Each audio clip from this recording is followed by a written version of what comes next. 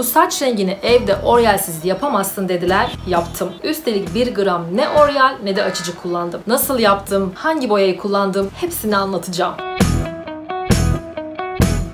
Videolarımın altına genelde şu yorumları yapıyorsunuz. Zehra saç rengin çok güzel. Nasıl yaptın? Hangi renge boyattın? Hangi kuaföre gittin gibi bir sürü soru alıyorum sizden. Çok teşekkür ederim. Çok mutlu oluyorum yorumlarınızdan. Ve soran herkese de aynı cevabı veriyorum. Bu boyanın rengini söyleyeceğim ama lütfen tek boyamada bu saç rengini alacağını düşünmeyin. Benim saçlarım çünkü çok uzun bir süreçten sonra bu rengi oturtabildim. Şimdi boyamı göstereceğim ama öncesinde mutlaka saçımı hangi aşamalardan, hangi renklerden yavaş yavaş açtım. Kesinlikle inceliklerini, detaylarını dinlemenizi istiyorum. Lütfen boyanın kutusunu görür görmez videodan çıkıp gidip o boyayı alıp sakın ona boyamayın. Saçlarınız eğer koyuysa. Bütün detayları şimdi saçlarımı boyarken tek tek anlatacağım. Selam herkese. Saçlarım kesinlikle tek bir boyamayla bu hale, bu renge gelmedi. İlk önce koyu kahvelerden başladım. Bu arada hazırsanız boyamın rengini söylüyorum. Ta ta ta tam. İşte bu boya Palette'nin 10-1 küllü açık sarısı. Çok uzun süredir saçlarımı bir tek bu boyayla boyuyorum. Şimdi hemen boyamı karıştırıp geliyorum. Hem saçlarımı boyalım hem de detaylarından bahsetmiş olurum.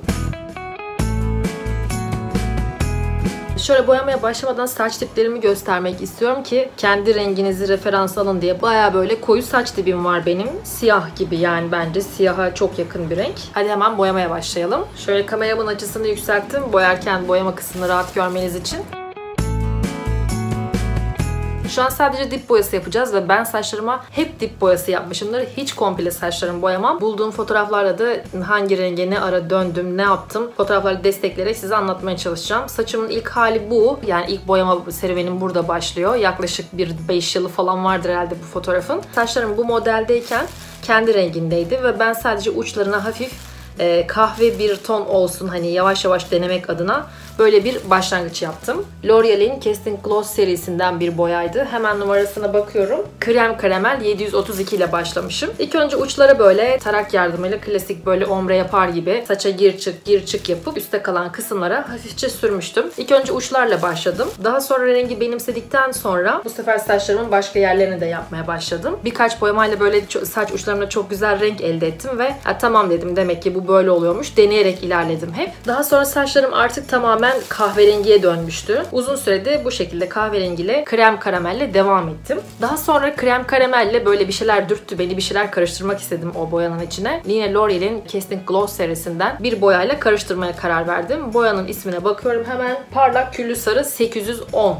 Bununla bir süre karıştırmaya devam ettim. Krem karameli. Ve daha sonra tamamen parlak küllü sarıya döndüm. Yani 810 ile boyamaya başladım bir süre. Daha sonra uzun bir süre tek başına parlak küllü sarıyı kullandıktan sonra yine bir şeyler beni dürtmeye başladı. Ve bu sefer de daha da saçımın rengini açmaya karar verdim. Daha sonra saç rengimi açtıkça baktım ki her tonun bana yakıştığını, daha çok sevdiğimi fark ettim. Ve hani açma konusunda sınır tanımamaya karar verdim. Yani saçlarımı mümkün olduğunca açık kullanayım. Bakayım ne oluyor hani nereye gidiyoruz gibilerinden merak edip deneysel takılmaya başladım. Daha sonra bu parlak küllü sarıyı da daha açık bir renkle karıştırmaya karar verdim ve az önce gösterdim palette 10-1 küllü açık sarıyla karıştırmaya başladım saçlarımı. Daha sonra elde ettiğim renk hoşuma gitti. Uzun bir süre böyle kullandıktan sonra da artık parlak küllü sarıyı çıkartıp tamamen 10.1 küllü açık sarıyla devam etmeye karar verdim palettenin bu boyasıyla. Yaklaşık 1-2 yıldır saçımın palettenin bu rengiyle boyuyorum. Artık rengin oturduğunu düşünüyorum. Sürekli boyaya boyaya bu renk oturdu ve gayet severek kullanıyorum. Sadece şu önlerime saçıma Brezilya fönü yaptırmak için gittiğimde sadece iki tane buraya, iki tane buraya şeklinde paket atılmıştı. Bu arada saçıma Brezilya fönü yapılan ve buralara paket atılmış olan YouTube videomu yukarıya bırakıyorum. İzlemek isterseniz oradan bakabilirsiniz. Birazcık soğuk sarı, daha açık bir sarı istedim. Çıkan sonucu inanılmaz severek kullanıyorum ve siz de zaten izledikçe, YouTube videolarımda gördükçe bu renk ne renk diye sormaya başladınız. O yüzden böyle toplu bir şekilde hem boyayayım hem göstereyim istedim. Fakat bu boyayı kullanırken şöyle bir durum var. Hemen onu göstermek istiyorum.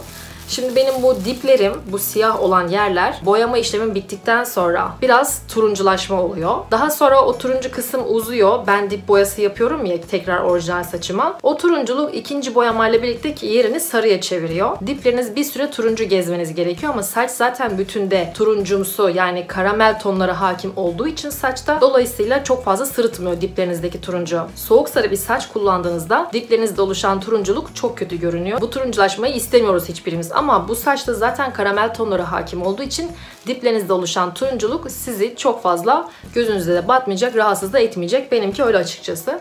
Şimdi hemen göstereyim kendi diplerimdeki turunculuğu. Şu bir parmak boyundaki yerlerde bakayım. Evet şu kendi saçımdan şuraya geçişte birazcık hafif turunculuk, birazcık koyuluk var. Şimdi bu dip boya yaparken şu bir parmak eniliğindeki yer tamamen sarıya dönecek.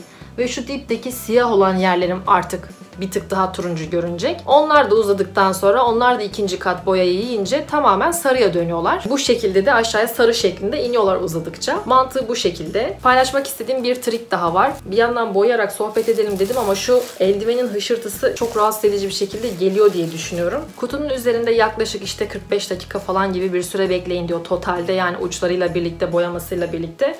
Ben zaten uçlarımı boyamıyorum. Diplerimi boyayıp ben böyle bir saati geçiriyorum. Bazen bir buçuk saate yaklaştığı da oluyor. O an neyle uğraştığımla ilgili. Ve boya ne kadar çok saçımda kalırsa o kadar açık bir renk elde ediyorum. O yüzden de fazla kalmasında bir sakınca görmüyorum. Bunu da dipnot olarak düşmek isterim.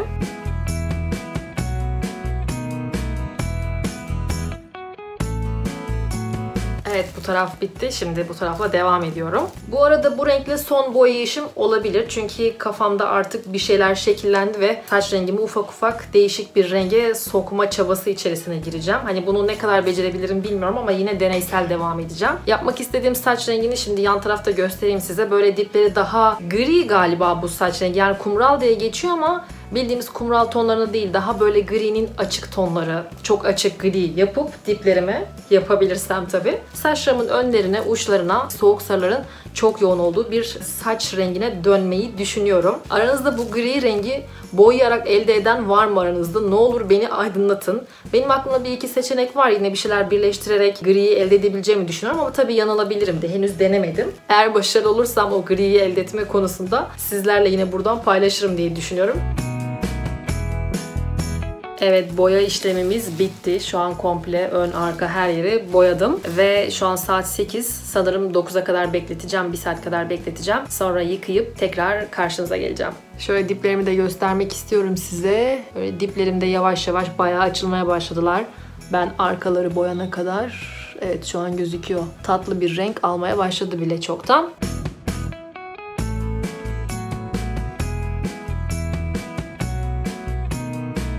Tatam saçlarımın son hali böyle. Gördüğünüz gibi birazcık da böyle maşa falan da yaptım. E, ben saçımın bu halini gayet çok severek kullanıyorum. Uzun zamandır da değiştirmekte çok tereddüt ediyorum. Acaba o bahsettiğim, yapmak istediğim şeye geçsem mi geçmesem mi diye ama muhtemelen yavaş yavaş geçeceğim. Bütün boya serüvenim bu şekilde. Umarım beğenmişsinizdir. Bu önlere atılan tabii 4 tane paket olaya farklı bir boyut kazandırıyor. Saçın bütününe aslında farklı bir hava katıyor. Ama zemin rengi olarak da çok severek uzun zamandır kullanıyorum. Diplerine de hemen bakalım. O bahsettiğim turunculaşma aslında şurası, şu hiza. Buralar biliyorsunuz siyahtı.